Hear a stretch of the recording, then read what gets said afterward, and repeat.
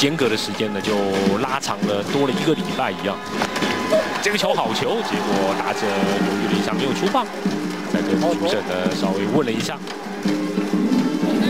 现在形成了两个人出局。但是我们看到这个曲球掉的速度真的是够快，而且大约就是我们所说最佳进垒点，大约从肩膀的高度开始往下掉。到第八棒的陈志宏。还以为一垒手出身的正经教练会毫不犹豫地说要记在自己中南的身上。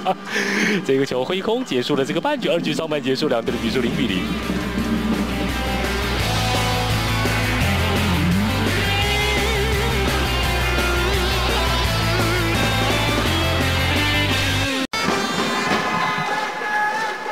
今天徐瑞泽是担任先发的三垒手，这个球好球，打者是。没有出棒的，遭到了三振。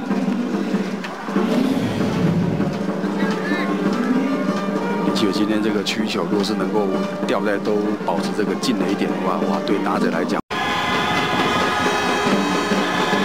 野上跑者走了，结果这个球挥空再传二垒，哎呦，呦有触杀到头盔的位置了，所以变成了一个 double play。虽然张镇伟一直说没有没有没有，但是呢，这时候牛队都已经是退场了。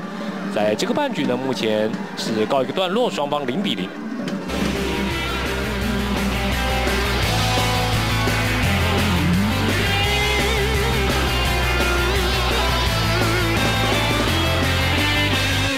在那首新秀基隆家呢，吓一跳。进来良好球，没有坏球。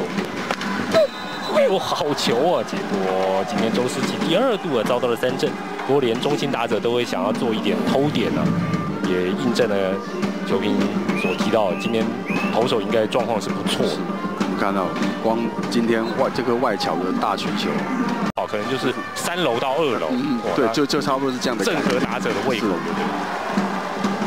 结果这个球彭真明呢，也是被三振出局。哇，在四局的上半呢，林继伟呢是接连的两次的三振。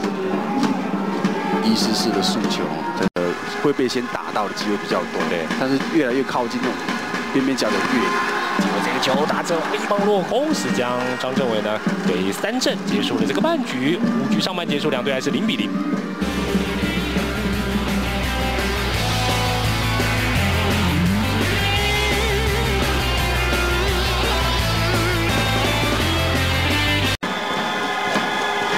治疗过后，要继续来投打对决了。结果这个球是放落空，被林奇伟呢给三振。这是今天林奇伟的第八 K 了。事实上，林奇伟上来啊，只要他该球技是没有受伤等等的，都是在这个夺三